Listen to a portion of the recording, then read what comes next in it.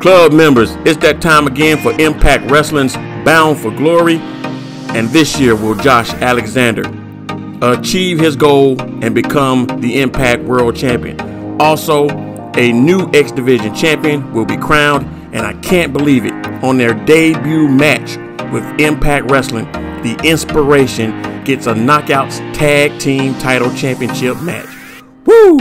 Hit that thumbs up for me. Hit the subscribe button if you're not a subscriber, and hit that bell for notification. Welcome to the club.